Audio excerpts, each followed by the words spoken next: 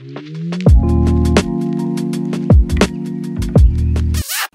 YouTube! Welcome back to my YouTube channel. If you are new here, welcome. My name is Jasmine Jones and on this channel I talk about all things teeth care, braces care with a little sprinkle of lifestyle. If you're interested, feel free to subscribe because I promise you will love it here. I see y'all watching these videos. I see y'all watching, but not subscribing. Come on guys, subscribe, be nice, share the love. Share the love. I'll wait. I will wait for you to click that button.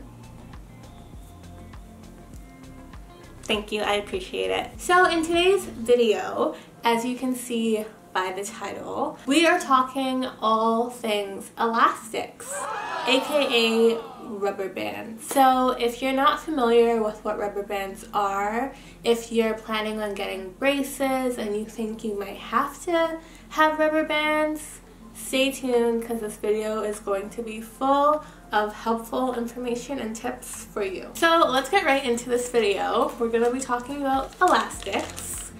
I have to wear these. Where do I even begin with these little bad boys? I'm just gonna tell you guys what they are, what they're used for, how to use them, different tips and tricks and all of that. Let's just start with the packaging of elastics. This is what it looks like. I don't know if you guys can see it. I hope you can. So this is a little package that they give you for elastics. In Canada, we name our elastics after animals, and that basically is the different categories of tightness and strength of your elastic. So I have tortoise, tortoise in size 4.8 millimeters. I didn't start off with tortoise elastics. I started off with cheetah. I believe cheetah, the elastic was smaller, so it was tighter, but they're both really tight. So let's open her up. I got a fresh pack for you guys. So once you open it, it's like a little Ziploc. This is what you will see inside. Just a bunch of rubber bands, as expected. And this is what they look like. It's just a little circular rubber band. And they're super tiny as you can see and stretchy. Okay, so what elastics do and what they are used for. It's actually a few things. It's not just one specific thing. So for me personally, my elastics were used to close the gaps that I had in my mouth. I had four gaps that I needed elastics to close. Some people have different issues with their mouth that they need elastics for. Elastics can be used to align your jaw to make sure that your bite is like in perfect, how do you say it? In perfect alignment and in, in perfect correlation to the top and bottom teeth so that you don't have too much of an overbite or too much of an underbite. The elastics will kind of just pull that all together. Overall, elastics are used to correct and realign your jaw, align your teeth, close gaps, all of that fun stuff. For me, I got my elastics on, I think within the third month of having my braces. I got my elastics put on. I thought that I was gonna have elastics first thing. I was excited for elastics. I don't know why. I was just so excited because I'm like, yo, this is gonna make my gaps close. Like elastics are the answer to closing my gaps and I wanted my gaps closed so desperately. So I'm like, yo, give me the elastics, give me the elastics. And they're like, yeah, no, not yet, honey. Like, calm down but you don't get elastics yet. I was so disappointed. I literally asked, after my first braces tightening, I literally asked my orthodontist, I'm like, do I get elastics? When am I getting elastics? He's like, yeah, not yet. My gaps are pretty much closed. It's crazy how these bad boys work. I will show you how I put them on and take them off because that's obviously very important. My teeth are nice and clean for you guys. I'm not disrespectful. So they give you this little package and with this package they give you one of these. It's just a little handy dandy tool to help you put your elastics on and off. I'll give you a couple of these because as you can see they're very small and they're easy to lose. Let me get closer. So what the elastic actually hooks onto is the hook on your bracket. Your orthodontist will tell you, of course, which hook they want you to hook your elastic onto. That makes sense. So for me, I'm getting real close and personal. Hey, how you doing? So for me, I have to put my elastic on this back bracket all the way to this bracket. And before there was a huge gap right here, but now it's closed. Now I only have to wear my elastics on the top two. I don't wear elastics on the bottom anymore because my bottom gaps are closed. My top gaps are so close to being closed, but not yet. So what I usually do is I just hook my elastic on this little tool that they give you, just like this. And I go like this. This is not flattering at all. I go like this, hook it there with my finger and hold it, and then I'll just go like this. And there you go. That one's on. And then I'll take another one. I feel like I feel closer to you guys now that I'm doing this in front of you. And now I just do that again. I'll show you how I put it on. Just like this, hook it on, let go, and this side.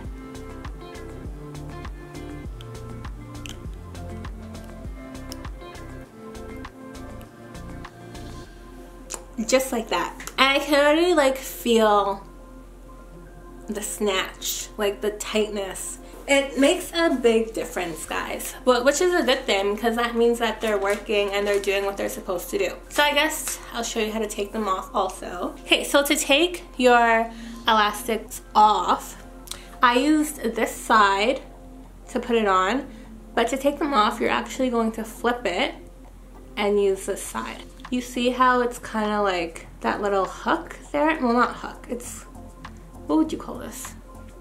This side is more of a hook, whereas this side is more of like, you can, I don't know how to explain it. What is this? A claw. I don't know how to, I don't know how else to explain it. I'm sure there's a better word, but I'm gonna use claw. So you just grab this little claw part and you just kind of have to get your elastic, your rubber band stuck in there and just kind of pick it out to be honest. Like, you just have to pick it out with this part.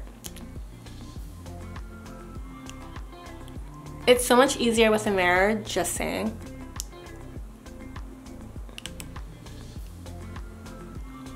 Just like that. I'll do the other side.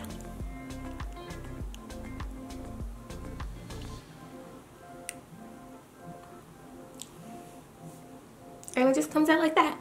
For me, I just had to wear my elastics in a horizontal style, which was cool because I wasn't comfortable really having to wear them vertical, even though who knows, I might have to in a few months because you really don't know. You really don't know what they're going to tell you. For Elastics Care, for starters, when it comes to changing out your elastics, it's so important, guys, that you are on it, that you have a good routine. For me personally, before bed, I after I brush my teeth and everything, I put a fresh pair of elastics on. Once I wake up, I put a fresh pair of elastics on, and then I literally don't take them off. I eat with them, I do everything with them, and then I'll change them out, like once I get home from work, so like around six o'clock.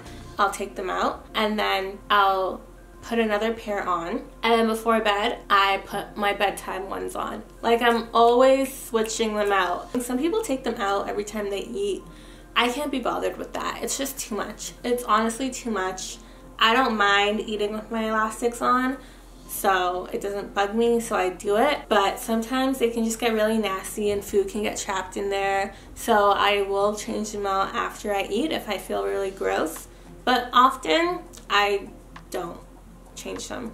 And I find that your elastics will loosen up throughout the day. So they won't be as tight in the morning when you put them on as they are at like 4 o'clock in the afternoon because they're getting loose because they're getting stretched out. So I just find that more often that you do change them, I feel like it's more effective in a way because it's really keeping that tension that's needed in my case to close my gaps. There has been a few times, I'm not gonna lie, but there has been a few times where I won't wear my elastics for a few days. It doesn't happen a lot because I've learned my lesson, but then I'll go and put my elastics back on and oh my goodness, the pain. It honestly feels like I'm getting my braces tightened all over again because that tension has been there. I get my braces tightened, put my elastics right on. I'm dealing with all that pain at once, but within two days, it's gone. I'm living my life. My teeth have gotten used to it. And then you take the elastics off for a few days. It could even be one day and then you put it back on and it's literally that pain all over again. You can't chew. You can't do, you can't, your jaw hurts. It's like, what's going on? I thought, I thought everything was good, but no.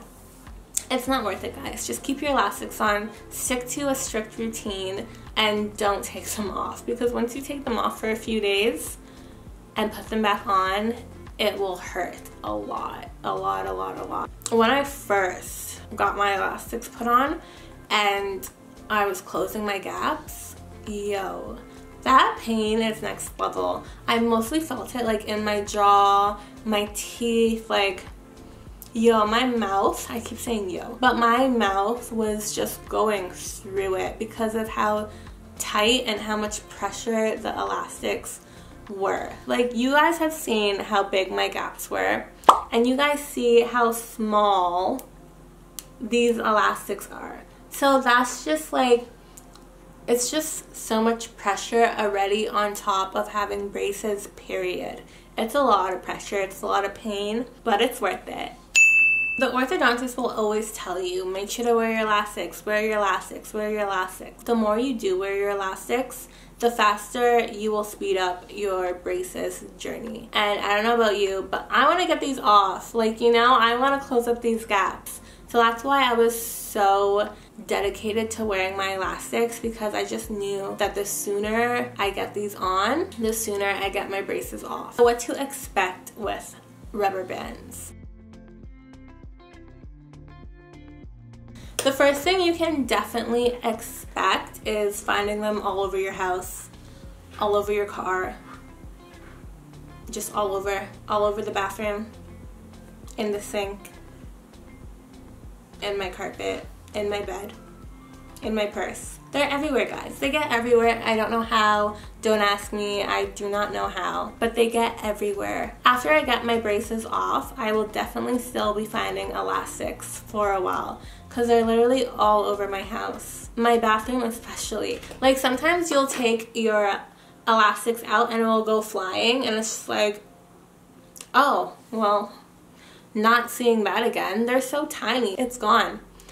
It's gone. I suggest always having one of these packs. You can tell them how many you want and they will give you that many. They always ask me, so how many do you want? And I'll be like, three please. Because I keep one in my car, in my purse. If I'm sleeping over at a friend's house, it's in my toiletry bag. There's a few in the bathroom. There's a few just everywhere in my bedroom. It's so important because if you have to switch them out quickly one day, you're ready. If you sleep over at a friend's house unexpected, you're ready. And I suggest keeping one of these in just the pack because they'll give you multiple of these too. They have so many. So I suggest just keeping it in here, closing it up so that nothing falls out and you're good to go.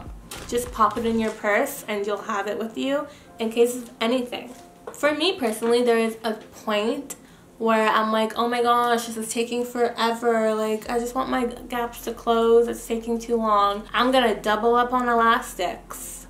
Do not do this, guys. I didn't do it because I went to Google first. I'm like, is doubling up on elastics okay? Should you do this?